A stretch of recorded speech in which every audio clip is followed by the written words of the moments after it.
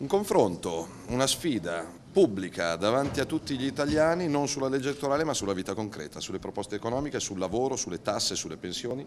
Le proposte della Lega sono chiare, aliquota fiscale unica al 15%, superamento degli studi di settore, rottamazione delle cartelle esattoriali sotto i 300 euro, superamento della legge Fornero, sono tutte proposte supportate dai numeri. Ecco, se, se il coniglio Renzi la smette di scappare e comincia a confrontarsi sulle proposte, sui numeri, sul lavoro e sulle pensioni, noi siamo a disposizione degli italiani anche domani mattina.